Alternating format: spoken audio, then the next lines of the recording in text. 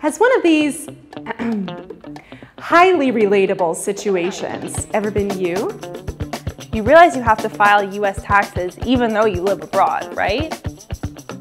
So you know that you're subject to US taxation because your parents are US citizens, right? What?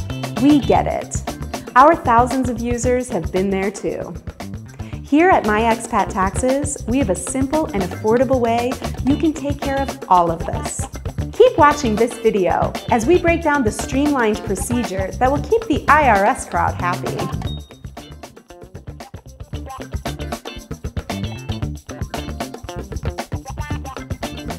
The IRS have created the streamlined procedure to help people like you get caught up on your US expat taxes, penalty free so you can go ahead and stop running away from the IRS.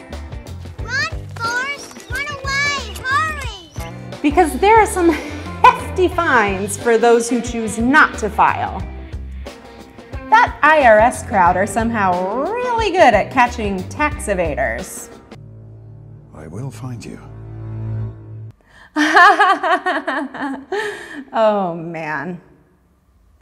Now the only question is, are you eligible to use the streamlined procedure to get caught up? Firstly, you have to admit that you didn't really know about it, or you forgot, and you just found out recently that you need to get on it. That's when it's all accepted as non-willful conduct and good faith misunderstanding. Secondly, you've got to have a U.S. Social Security number or taxpayer identification number. If you haven't got one, you can apply for one at your U.S. consulate.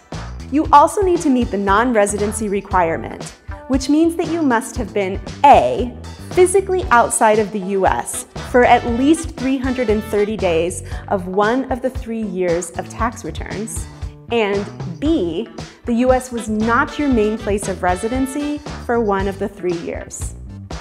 So, if you've ticked all those boxes, you should just make sure that you haven't filed a US tax return in the last three years.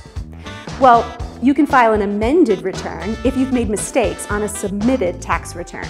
So now that you know that you qualify for the streamlined procedure, uh, we'll get you started by filling you in on the essentials.